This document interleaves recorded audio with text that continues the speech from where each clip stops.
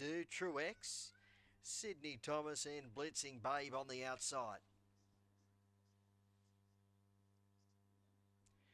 Miss Hudshey at $2.30 from the pole position. The clear favourite over Sydney Thomas and Jesse Do. Wider to in the blue.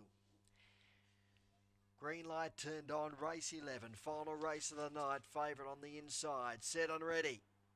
Racing. Miss Hudgy began poorly. And in the centre, in the blue, got away quickly to roll to the early lead over Jessie Do, Rosa Lumpedy, Sydney Thomas, and then Queen G, Truex. Followed by Miss Hudgy and Blitzing Babe at the tail of the field. The front runner in the blue, led by two to Jessie Do, followed up by Sydney Thomas in the blue in front. Jessie Do can't get there. In the blue wins. Beat Jessie Do, followed in by Sydney Thomas. Further back in the run, Queen G, then Rosa Lumpedy, then Truex, followed in by Miss Hudgy and Blitzy Bay, the tail ender, in 22.83. Five the yellow in the blue. Is racing in a real purple patch of form at the moment. Number five in the blue first. Two black and white Jesse Do second. Six green Sydney Thomas in third position and fourth going to number three Queen G. Five, two, six and three. 22.83 the official time, 22.83 the overall time. Winning margin one length, two and three quarters between second and third, one by two and three quarters, five, two, six and three. Number five in the blue, a white and black bitch, Benjo Boy, Blue Blood Queen, owned and trained by Patricia Dean.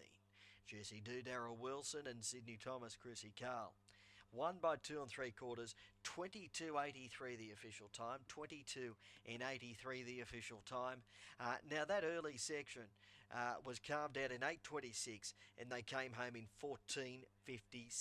It is 5, 2, 6 and 3 confirmed on the final race of the evening, race number 11, and we just await on the all clear, and I will shoot that uh, down the line, Paul, on the final race of the evening here at Richmond tonight. We head to Wentworth Park tomorrow night, the semi-finals of the Group 1 Vic Peters highlight that card, and I'll preview all of the action at 10.45 tomorrow morning. So until then, I'll bid you all a very good evening. Thanks, mate.